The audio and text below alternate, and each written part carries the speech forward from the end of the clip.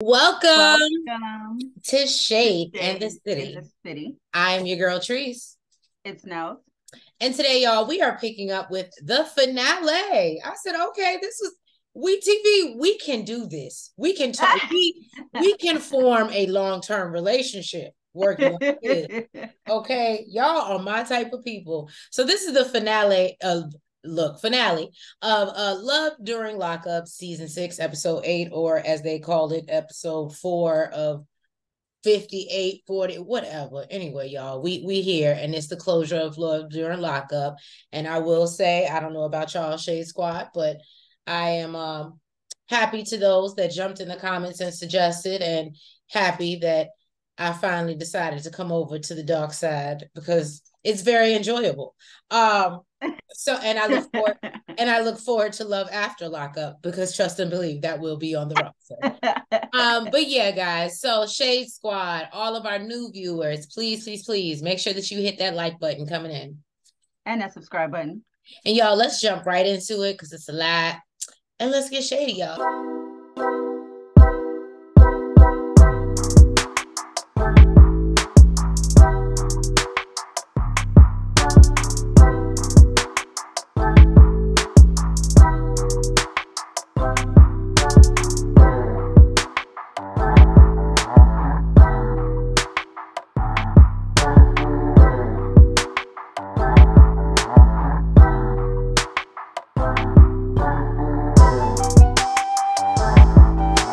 Well, Nell said that she didn't feel like it was a lot and she felt it was rushed. I wish she would have said that in the beginning. But anyway, so here we are. Um, and we're starting off with Jade and Chris. Uh, she's down on the beach in Naples, Florida. Looks real nice, girl. I heard about Naples. Okay. So, um, and you know, she's waiting for Chris's call. She's nervous because she realized there are more cracks in their foundation than she thought. So she brings up, you know, him bringing up everything in his name and, you know, brings up him getting a will or a post nup. And that is the only way that she is willing to stay.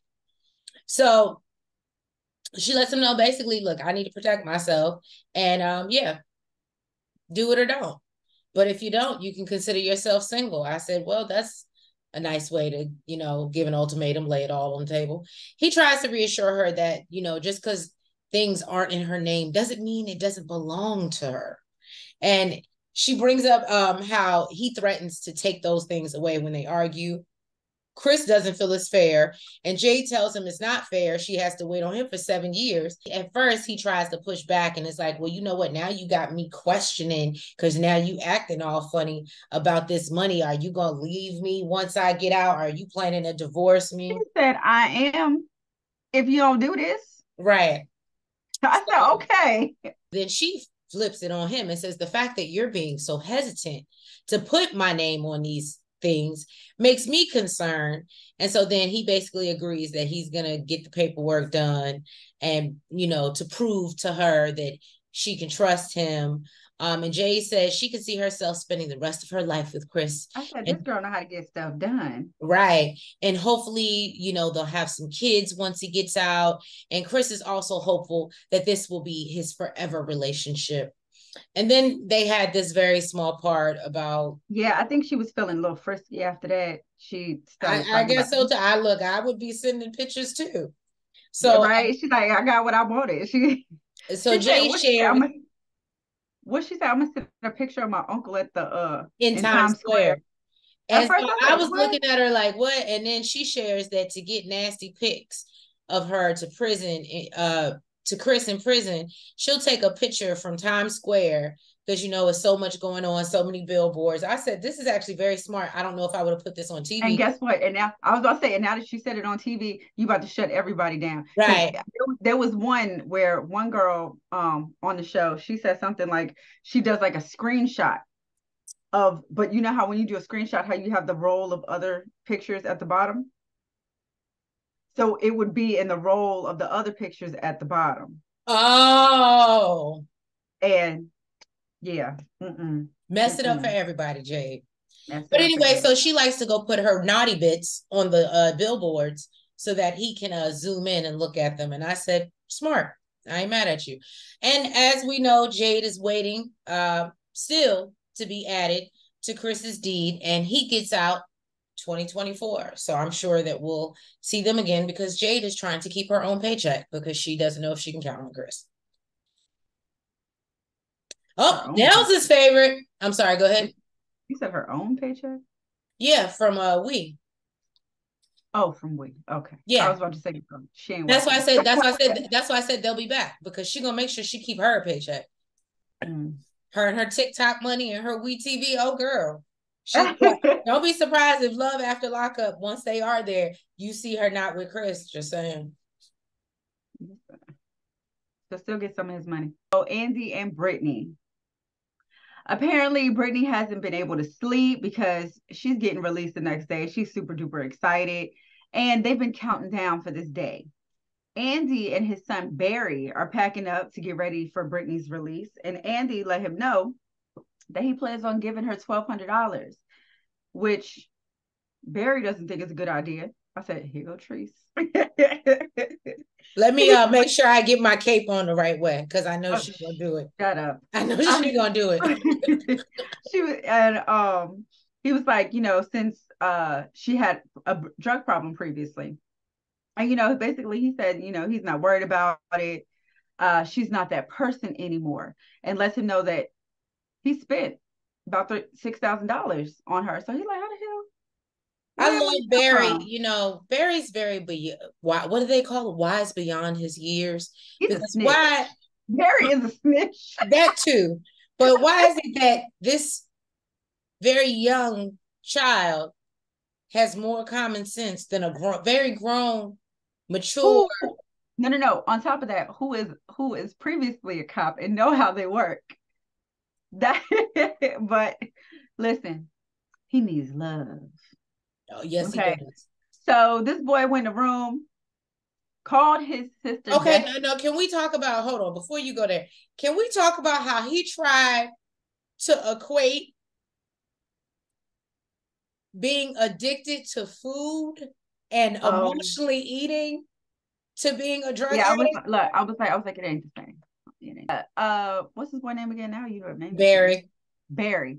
So Barry runs to the room, gets on the phone with his sister Destiny, and snitches his daddy cold clean out. Talking about some girl, I got the tea. You know this man about to get his girl some money, and he been giving her money. I'm like, yo, Barry, that next room, like, yo, he had no chill. So of course, Destiny's pissed off because she don't already like the girl and she don't like the situation. She mad at her daddy. You know, she she on 10. Um, but she's like, you know, she really don't see a future for them. And she said she hopes that the girl don't run off with his money, but if she does, it will be a lesson learned for her daddy. So so be it. Mm. So they have the car stuff with all types of balloons and gifts, and they're about to drive to Hartwell. Now, this didn't make any sense to me because if you can't get these goddamn balloons in the car, how you gonna get this girl in the car? Where who's she riding with? It was real interesting. Well, anyway, so Brittney called him and let him know that you know he's gonna have to pull like over on the street or whatever, and not, you know, close to the jail because they're gonna pull her up in a van um to release her. So, you know, he let her know that he got in touch with Gracie and he's excited for her and Barry to meet. He's just hoping that she's in better spirits this time. And when they got to the because we all know Gracie was not feeling him. She was not. She even looked totally different this per- this time. I, I thought she was a totally different person. I didn't. I did too. Her. Yeah. I didn't recognize her. Um, so they get to the hotel and she does actually seem like she's in better spirits. She's at least talking this time. Um, but more than likely, I think it's just because she's excited that her mom is coming home. She I think that's it too. Give a damn less. And she does see uh um Andy making some effort. So he's basically just ready to knock out, get ready to go get his woman in the morning. Um, he is a little bit nervous. He said that, you know, she's been clean for two years. But if an addict wants to find a way, they will find a way. You know this. So, okay. Right. Um, and basically, but that will be the end of them. But it will be too late because she'll be on you know, addicted to something all over again. And basically, we says that they'll continue their story on Love After Lockup. So, Raneka and Asonta. Rest in peace, Asonta. Now, Asonta tells production to say that he called his auntie. Um, or no, he tells the production. No, he, he said it was. He said it was his auntie. Oh, he did. He, he, no, yeah, he said they asked him who it was, and he said that was my auntie. Oh, okay. Um, and then basically she's handling it. So then he calls Raneka to let her know that she's supposed to be getting the Apple Pay with the money to get him out. But apparently the amount that Raneka got was not enough. It was short. So Asonta says he's not worried about it. Raneka's, you know, gonna take care of them and money.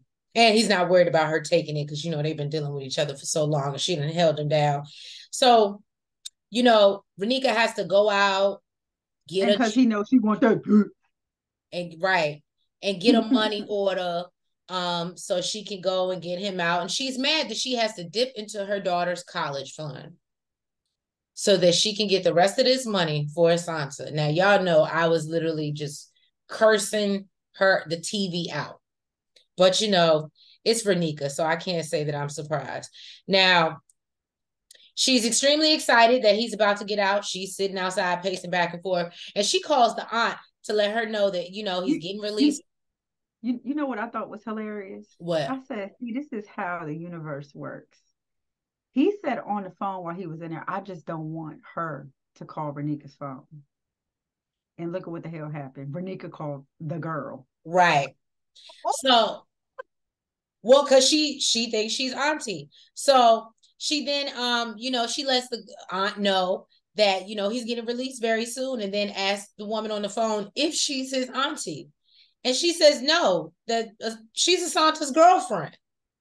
So obviously she's no like she said no no no I said Asonta she was right. like girl you didn't hear me correctly? She said yeah I know.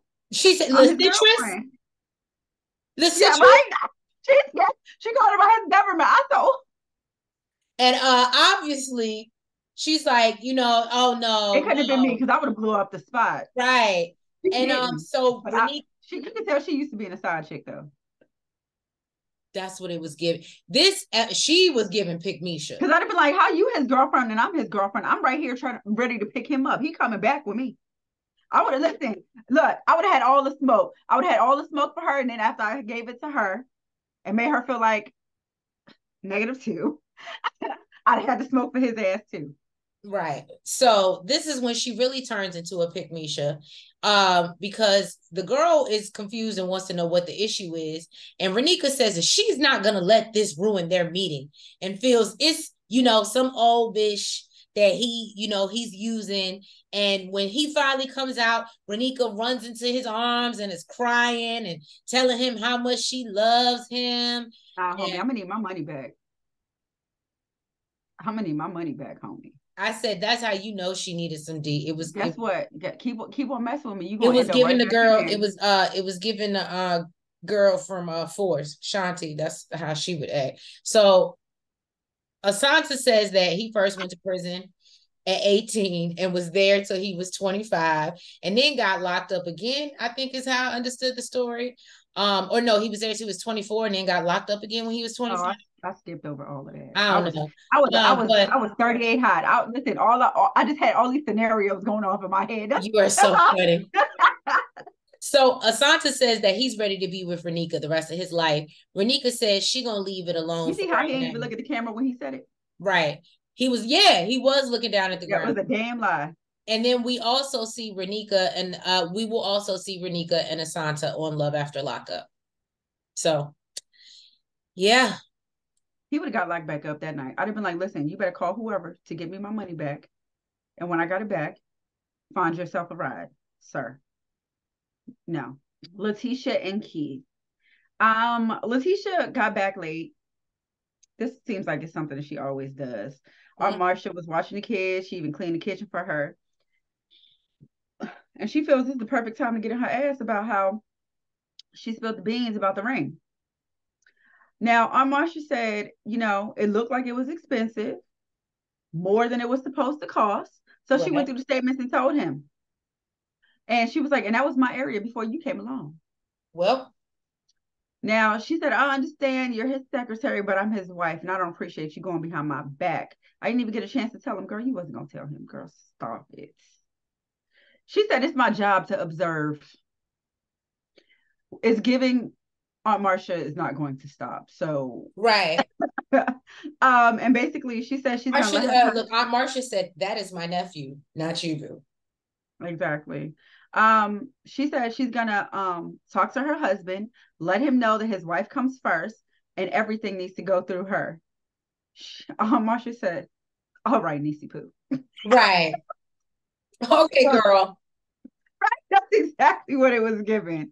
Then she tried to tell her homegirl that she's gonna get her taken off the accounts? I don't think so. Good luck.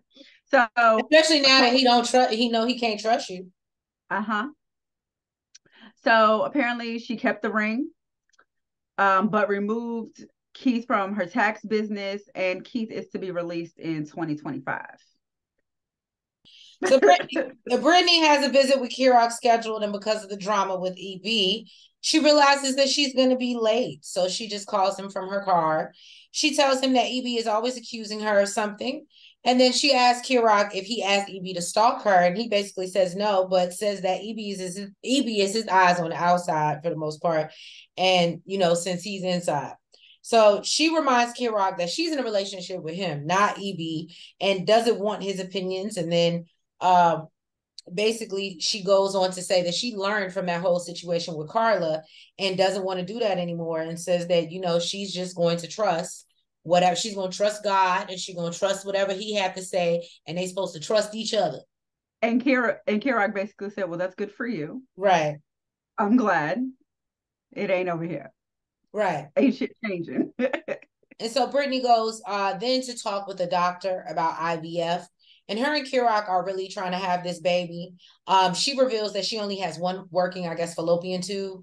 Uh, then the doctor tells her that that won't matter as long as Kerok's uterus, I guess, is good. So then Kerok calls and asks the doctor basically what the procedure is or what they need to do. The doctor tells him the first thing is coming off the hormones he's currently on, um, and which I guess is testosterone, um, and is preventing his ovaries from functioning. He lets him know that through this process, he's going to develop breasts mm-hmm. and his voice may change. Not the not the ovaries, the the two the fallopian tubes. He's the one that's producing the egg. She would ha- she's the ovary, so she's holding the the egg. I guess whatever. um, so Kerok's obviously not okay with that under any circumstances. And so the doctor says, well, there's no way that he can collect eggs without him coming off of it. So Brittany asked him to think about, you know, think about it. And Kerok says, absolutely not. We're not doing that. Um, and so Brittany gets emotional and, you know, just wants to make sure she can, she can carry her own baby. Um, and basically feels like if she has a baby with just her DNA, that basically he he won't treat them like it's his own. And he basically tries to reassure her and let her know that even if they adopted that would still be his kid. So then um, she asks about the procedure being that her fallopian tube is closed and the doctor explains that he would just go i guess from the side. Hopefully she ovulates from the side that's open i think is what he's hoping for or else she'll have to I guess they'll have to take her egg and then take it to a lab and inseminate it and then transfer. It's a lot. It's a lot going on. And it's not cheap. And it's a long mm-hmm. process. Not long, but it's lengthy. So he leaves him to talk about himself and Brittany gets upset because, you know, she wants to carry her baby. Um, and tells, you know, he tells her that they need to think on it some more. And Brittany says that she loves Kerok, but she also wants to carry her her child. So Brittany and Kerok are still discussing their baby plans when the episode ends, and they will all we will also see them on Love After Lockup. And I said, Well, okay, girl. Good luck to y'all. Don't get caught up in Alexandria. You took it right out my mouth. I was just about to say it. We'll see her in Alexandria. You stupid. Delulu, Savannah. Um, she really thinks that she's gonna walk into this jail and get married. And I really wish this girl would stop telling us about her bowel movement. She's forever talking about how much she poop and how much she got to poop. I don't know what's wrong with this girl. So on the way to the covered gym, it because I didn't even realize it. I said I wouldn't even realize it because that's it, how it just it just it, it it annoys me. It annoys me. She's constantly talking about how much she poops. Girl, nobody cares. So on the way to the jail, with this dress and this veil on, she is really taking. She's like really talking herself up and making herself think that this is really a possibility. So this girl said, How could he say no to me? Like he hasn't already. Well, that point. So of course she comes out the jail disappointed. She throws the flowers out the window. Um, she said, "I don't need any of this wedding stuff, girl. you big dummy. We need that." um, she said she put the marriage papers in front of him and told him she signed them already, and now it's his turn. This man laughed and told her no. It was the fact that she went and spent money on a dress for this. I don't know why. I, I didn't even expect it to be that. I hope she rented it. Imagine it? It even. It really don't even look like a wedding dress. It looked like something she could have got from Walmart or something, Target or something. Really, could you imagine him laughing in her face? Like, no, it's not happening. He pushed that back and. I don't even see him laughing. She said she she said he laughed. She she said he chuckled and told her no. Like, like no, like the fact you uh, thought it was I, funny. I think that, it, at least in my opinion, I think that we all know that she's delusional, and what actually happens versus what she makes up in her head are two totally different things. So I don't think. It, I mean, I would think even still, if he laughed, that's not. It's not like a great thing. That's like no, it's not a great thing. But what like, it's like you're funny. You really thought this was going to happen today. I don't believe that because of all that she said, and she was like, "Oh, I realized that I'm forcing myself on his mother, and I'm forcing myself on him." That's basically what. Oh, you th- you think that's you think that's what he said? I think that's what he told her when she sat down at that table. So to me, I don't think there was any laughter again, but she's delusional. So what she's gonna tell us versus what mm-hmm. actually happened because cameras weren't there. We'll yeah, never we'll never find out. Right. I, wish I could have been a fly on the wall. Right. But she said afterwards they had a great visit. I don't know how you go from getting a no in a wedding dress to a great visit, but happens, I guess, when you're Delulu. So she said she told him and showed him what she wants, but he doesn't want the same thing. And he made that very clear. I just hope it's clear this time because he made it clear all season long. I don't understand. She said that she feels like she's finally learning a lesson. She can't push herself onto people like she did to him and his mom because she still didn't get what she wanted, like Tree said. So he calls her while she's driving and he told her, I can't believe you really came in here with a wedding dress on and thought I was going to sign them damn papers. He said it means a lot that you're willing to commit yourself to me at my lowest point in my life when I have nothing to offer. And I love your determination. And, and you're still wanting to be devoted to me. But it's still a no. it's still a no. Right. um, but he says that he wants to be able to take care of her and their future family. Listen, you know what, Jake? I had a lot of respect for you. I really did. I had. Well, here you go lying because you were being. I I thought you were being honest. Okay, if you just need a pen pal, I'm sure they have plenty, plenty. But you know what? It could be because she's working on this uh, commutation for him. So who knows? Who knows? He's clearly benefiting somehow. Um, and she says, you know what? That makes perfect sense. I just can't wait. So she decided that his daily dedication is enough for her and says they'll be married one day in their own way. uh-huh. So basically, yeah, she's still working on Jake's commutation and um, she's hoping to get a ring by 2024. She is wasting all her good years for this man. Do you think she got good years? the few that she got left, yeah. Well, you know what? There's somebody for everybody. So right. That was pretty much the finale of Love During Lockup. We thank you so much, Shade Squad, for joining us for this review slash recap. If you have not already, please, please, please make sure that you've hit that like button. You comment. You subscribe. And you hit the notification bell. And make sure you're following us on all the platforms the TikTok, the Twitter, the Facebook, and the IG. And yeah, guys, we will catch you. Actually, we won't catch you next week. I guess the next time we see you, got lovely people, it'll be for Love After Lockup. But please go binge watch all of the reviews. Go make sure you've liked them. You're caught up on all the shadiness of it all. And if you comment, we'll still respond. So right, comments too. Okay, and yeah, and go on over to all our other videos. Jump into something else. I'm sure we'll find something else that you like. But yeah, love you guys, and we'll catch you for Love After Lockup. See you later. Good night.